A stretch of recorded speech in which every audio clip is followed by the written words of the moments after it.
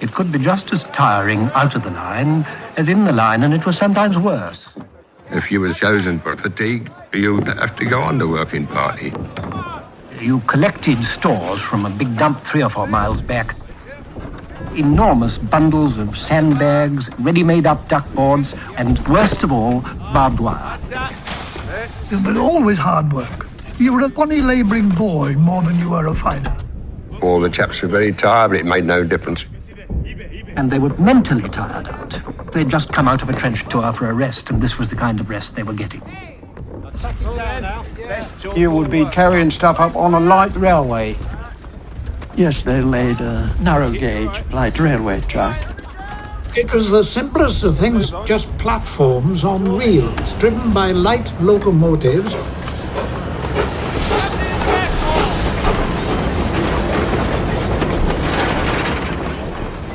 Light railways, well, they were always a blooming nuisance because they were always coming off the track. And they lost control of this truck going down a slight incline. And it barged into the one in front, it scattered the duckboards all over the place. We used to take our mess tins up to the engine driver and uh, get some boiling water for our brew up of tea.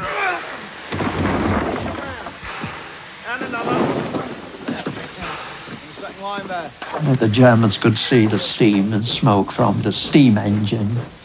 So then it was mostly petrol engines which used to run up to the trenches.